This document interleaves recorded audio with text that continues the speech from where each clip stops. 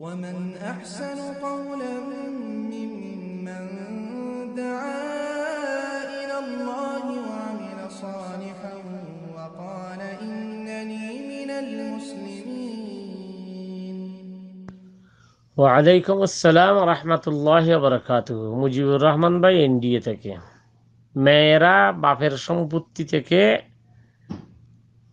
বাঘ পাবে সমান অর্ধেক, অর্থাৎ ছেলেদের অর্ধেক। অলি জাকারে মিসলু হাজদিল উনসায়াইন।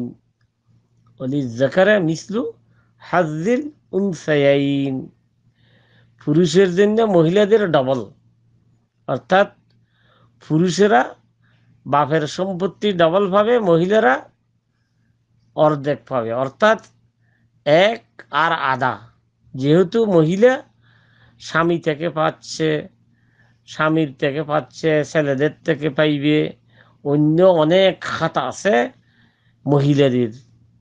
সুতরাং পিতা মাতার হক থেকে তারা এক পুরুষ, দুই মহিলা, এইভাবে বাক হবে। দুই মহিলা যেইটা পাবে এক পুরুষে তা পাবে যেহেতু মহিলারা বিভিন্ন দিক থেকে পাইতেছে। তো এক নম্বর। দুই নম্বর হলো বাস্তুবিটা থেকে ঘর বাড়ি থেকে এখানে পাবে কিনা, সব কিছু থেকে। জমিন থেকে যেই রকম বাস্তুবিটা থেকে তো এইরকম বিল্ডিং থেকেও সেই রকম। বাইয়ের প্রতি মহিলারা বনে বাইয়ের প্রতি বেশি রহম করে, সেই জন্য কি করে? আমার বাপের বিটিয়া আমার বাইপুত, যারা আমার বাইয়ের সন্তান যেগুলো, আমার বাইপুত এগুলি, সেগুলি এগুলি দিয়ে যায়। বিটিয়ার কথা চিন্তাও করে না, গড়ের কথা চিন্তাও করে না। কিন্তু এইটা ঠিক না এটা মীমাংসার জন্য করে দেয়। এবং যদি সেরকম সন্তুষ্ট চিত্তে দিয়ে যায় বাই ব্রাদারকে, তাহলে এখানে কোনো সমস্যা নেই। সমস্যাটা হচ্ছে কোথায়? যেগুলো লড়াই করতে হয় মহিলাদেরকে, পিতার সম্পত্তি পাওয়ার জন্য, মায়ের সম্পত্তি পাওয়ার জন্য। লড়াই যেন না হয়, আবার কিছু কিছু ফ্যামিলিতে অতিরিক্ত করা হয়, অর্থাৎ বোনকে যেমন ধরেন এক বোন তাকে তিন ভাই থাকে, তিনে ভাই ফুরে দিয়েও বোনকে, বোনের গোষ্ঠীকে কুলাই না, অনেক সময় এরকমও হয়।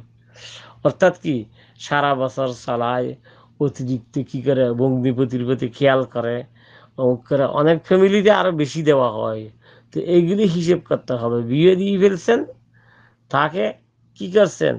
তাকে মহারানা নিয়ে দিছেন তারপরে ওখান থেকে তারা আই ইনকাম করে খাবে শাশুর বিড়াতে মহিলারা। পুরুষেরা তো নিজের বাপের বিড়াতে ওরা শাশুর বিড়াতে থাকবে। তো সুতরাং সেখানে মহিলারা কি করে যে ভাই বোনে মিলিয়ে যা করেন, সন্তুষ্ট চিত্তে করলে সব জায়েজ আছে। আর যদি অসন্তুষ্টি হয় যে বাস্তবিটা থেকে দিতে হবে। তাহলে এইগুলি মীমাংসা করা যায়। এটা কি করে? বাস্তবিটা থেকে যা সম্পত্তি পায়, ওদিকে বদল দিতে পারে। অথবা ঘর থেকে ঘরের ঘরের ধরেন ঘর বাড়ার ইনকাম আছে। যদি কেউ যদি গর্ত দিয়ে ঘর বাড়া দেয় পিটিআই, তাহলে সেখানে মেয়ের অর্ধেক হক। এটা কি? ওই যে ভাড়া যেগুলি উঠে এগুলো ভাড়া করে দিবে কি করে বাক করে দিবে? আর যদি না শুধু বিল্ডিংয়ে এমনি থাকার জন্য তাহলে বিল্ডিংয়ের কি করার দাম নির্ণয় করতে হবে এখানে। যে মূল্য নির্ণয় করিয়া অর্ধেক বোনকে দিতে হবে, বোন চাইলে। না চাইলে এটা কি থাকবে? বাইরের সার- বাইরে এখানে থাকবে। ভাই বোন মিলিয়ে কি করবে? সমাজ বিনির্মাণে সহজ করবে। আর দিন ঈশ্বর মোটামুটি। দিন হলো সহজ, কিন্তু যদি একজনের হক, একজনে এইরকম না দিয়ে থাকে, এটার হিসেব হবে। এটা কি করতে হবে? আল্লাহ সেখানে কি করবে? বোনের হক বোনের হক না দিলে সেই ভাই, ভাইকে আল্লাহ পাকড়া করবে।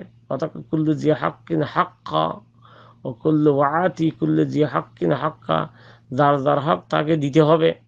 দাবি করলে আর দাবি না করলে এটি লিখিত করে ফেলা দরকার। লিখিত করে ফেলা পিতা মারা গেলে, মাথা মারা গেলে একদম একটা লিখিত। যে ভাই বোনে মিলিয়ে এই লিখিত আমরা এই করলাম, এই যদি কাগজে লিখিত করি ফেলে, তারপরে এরপরে আর কি করতে পারে না, মিথ্যে কথা বলতে পারে না, একজন আরেকজনের প্রতি দোষ ছাপাইতে পারে না মানে লিখিত করে ফেলল। তারপরে যদি দোষ ছাপায় তারপরে কাগজটা গিয়ে আবার পড়িয়ে দেখবে কি কি সিদ্ধান্ত উপনীত হয়েছে। সুতরাং মিলিমিশার একটা আলাদা বরকাত আছে। বারাকাল্লাহ জাকাল্লাহ খায়রা